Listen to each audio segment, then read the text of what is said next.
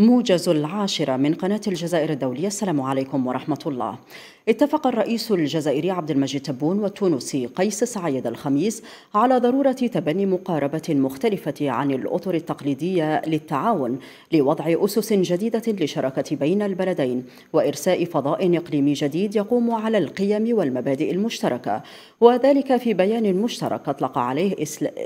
أطلق عليه اسم إعلان قرطاج الذي توج زيارة الدولة التي قام بها الرئيس الجزائري إلى تونس واستمرت يومين وجاء في البيان أن المحادثات المهمة التي أجراها الرئيسان رسخت التوافق التام في تقدير مستوى علاقات التعاون والشراكة بين البلدين والرغبة المشتركة في الارتقاء بها في كافة المجالات إلى أعلى المراتب وفتح آفاق أوسع وأرحب.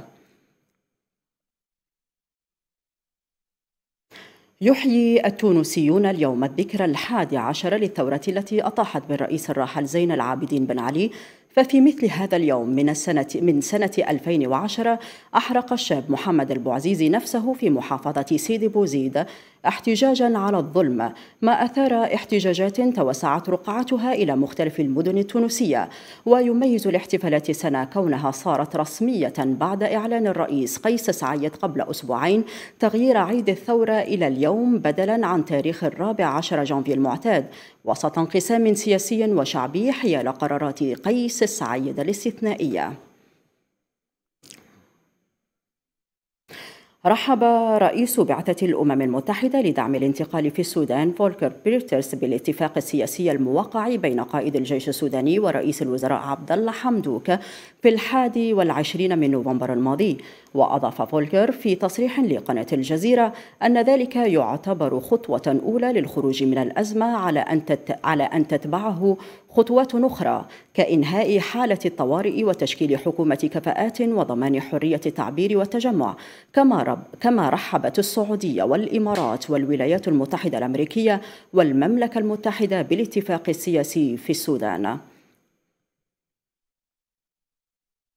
يعقد مجلس الأمم المتحدة لحقوق الإنسان اجتماعا طارئا اليوم لمناقشة الوضع في إثيوبيا وتعيين محققين في انتهاكات حقوق الإنسان المحتملة في الحرب الدائرة بين الجيش ومسلحي جبهة تحرير تيغراي. هذا وقالت منظمة العفو الدولية وهيومن رايتس ووتش الخميس إن مقاتلين في منطقة أمهرة يعتقلون مدنيين من تيغراي ويقتلونهم في موجة جديدة من العنف العرقي المرتبط بالحرب. في الوقت نفسه طلبت لجنة حماية الصحفيين السلطات الأثيوبية بإطلاق سراح صحفيين اعتقلوا منذ نهاية نوفمبر الماضي.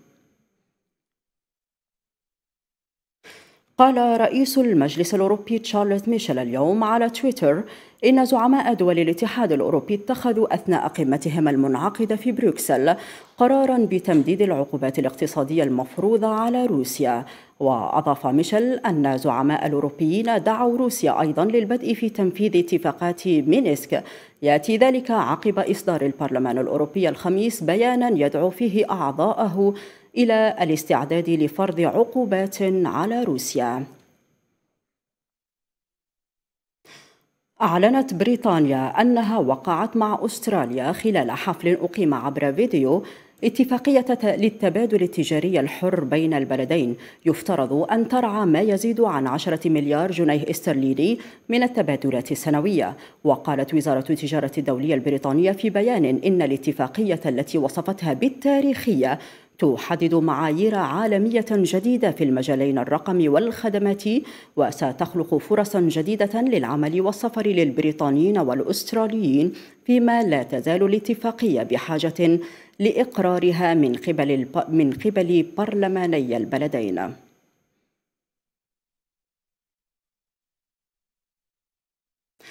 أوصت السلطات الصحية الأمريكية الخميس باستخدام لقاحي فايزر وموديرنا بدلا من جونسون أند جونسون في تطعيم جميع البالغين ضد كوفيد 19 وذلك بسبب تجلطات دموية يعتقد أن اللقاح أحادي الجرعة مسؤول عنها وقد اتهم مركز الوقاية من الأمراض سي دي سي لقاح جونسون بتسببه في وفاة تسعة أشخاص في الولايات المتحدة.